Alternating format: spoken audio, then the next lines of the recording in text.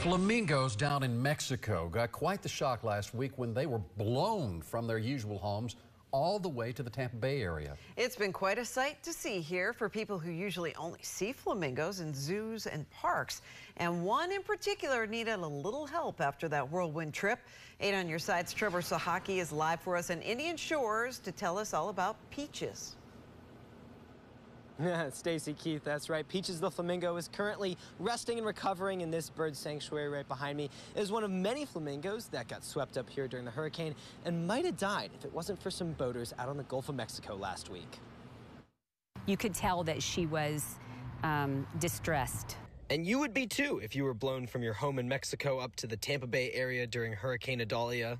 As we came up on the bird, it did try to fly, which is when we knew that it could not save, you know, could not save itself. It would not be able to swim out. So, when Madeira Beach City Commissioner Anne Marie Brooks and a group surveying the hurricane's damage saw the flamingo in the Gulf of Mexico, they scooped it up. Having the opportunity to assist in rescuing any animal, it's very exhilarating and it's fun to be a part of. Brooks and the others named the bird Peaches. It's now at Seaside Seabird Sanctuary in Indian Shores. Thankfully, as of now, he's eating on his own. His activity levels have increased really nicely, so all really good progress towards release. Melissa Edwards is the sanctuary's avian hospital director. She said the flamingos in the region could be here for a while. Um, it's unclear how long they're going to be in our area. It could be, you know, quite a few months. It could be, you know, next day they could decide they want to turn around and go home. So really unsure at this point. But she said the flamingos spotted as far north as Ohio will probably migrate back south sooner.